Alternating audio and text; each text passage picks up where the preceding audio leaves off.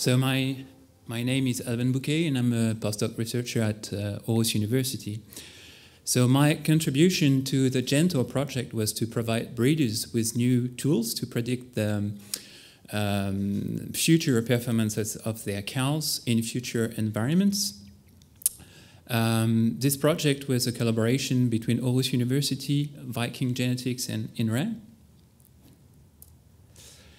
So um, resilience and efficiency are two important attributes for the cows of tomorrow. Um, cows must be um, efficient to lower the environmental impact of uh, dairy production and uh, resilience also to face more uh, uncertain uh, environments.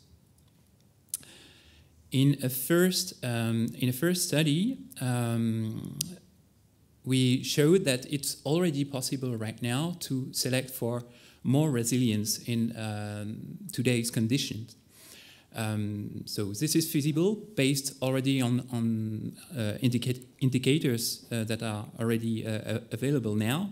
But this implies less genetic gain on milk production, although we can uh, expect some more progress on functional traits.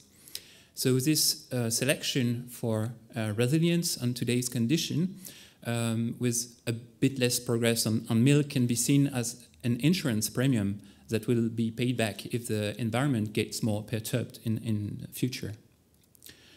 But the question uh, I was asked by, by breeders was, but how will my, um, uh, what is the impact of my breeding strategy uh, right now on uh, the resilience of my cow in future?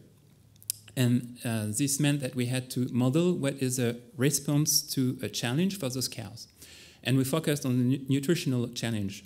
So um, this response is quite difficult, complex to, to model uh, because uh, the traits are quite um, highly, they are highly dynamic and they are affected both by the environment and uh, by selection.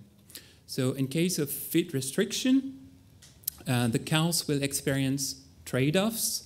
Um, it means that they will have to prioritize certain functions. So for example, lactation versus fitness or reproduction. And what we have to keep in mind that when we select cows, we also change the magnitude of those trade-offs. Um, and the current methods um, we, we use to predict selection response do not account for those trade-offs. Um, so it's difficult to predict the long-term consequences of selection. So to tackle this, prob this problem, um, our idea was to couple two different kinds of model. Um, one mechanistic model that was developed within GenTORE uh, that, we, that was used to simulate some performances and the potential um, trade-offs of cows before and after selection um, based on two important things, their genetic makeup and um, the environment. And we coupled this, this model with um, a breeding scheme simulator uh, that was used to uh, evaluate how the genetic, genetic makeup of a population will change over time. Um, so for those interested in, uh, I will present this, this, this method tomorrow at the WCGALP. Just to show you the benefit of the approach compared to the standard approach, I will uh, present you a small case study. Uh, we simulated a typical breeding uh, plan uh, of a dairy cattle population with uh, 20,000 cows, 100 sires. For all the cows, we had some phenotypes, so body weight, milk production, um, feed intake, fertility. Um, it was the interval between first AI and, and conception and lactation efficiency. And we had also information for two resilience uh, indicators, which is the level of body reserves and uh, lifetime efficiency. We performed selection in a non-limiting environment, and we used a breeding goal, which is quite standard, so which is made up of two traits, only two traits, milk and fertility, um, but with a, a, a weight that represents the current balance we have between production traits and uh, functional traits. And we compared our, um, the, the performances we, we had before and after 20 years of selection um, for selection in a non-limiting environment or um, if the, those selected cows in a non-limiting uh, environment were transferred to a, a, limiting environment with a reduction in uh, dry matter intake by 13%. Um, so here I show you the selection response, the annual genetic gain uh, in the table, uh, which is expressed in um, standard uh, um, genetic um, deviation units. So we have, following this uh, breeding scheme, breeding goal, a high genetic gain on milk production, which is due mainly to um, a gain on uh, dry matter intake and to a lesser extent to um, gains on, on lactation efficiency. On the graph on the right, you can see the um, profile of uh, body reserves in gray for the cows before selection and in orange after selection. So to produce more milk, those cows uh, will mobilize also more body reserves in early lactation. And then they will uh, reconstitute a bit more slowly their body reserves.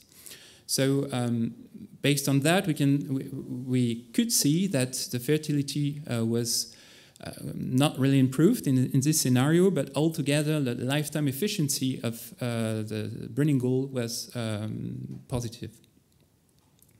Now, if we put those same cows um, selected in a non-limiting environment in a limiting environment, we can see that the genetic gain on milk production is, is, is much less um, especially because with the feed restriction, the, the cows could not fulfill their um, nutritional requirements.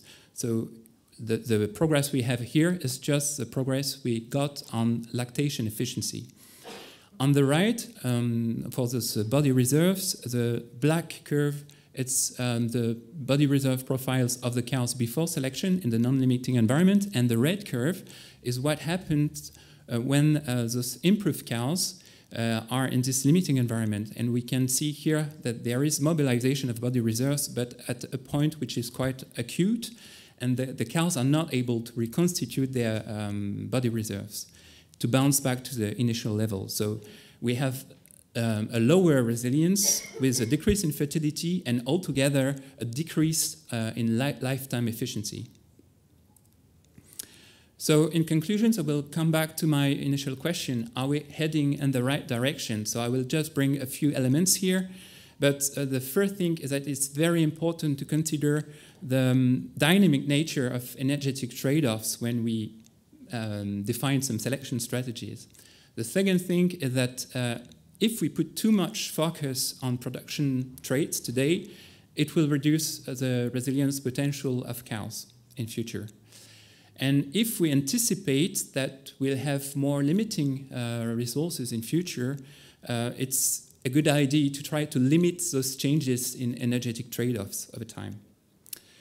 And um, finally, all the tools we um, developed uh, will help breeders, I hope, uh, to benchmark um, selection strategies and make more informed choices.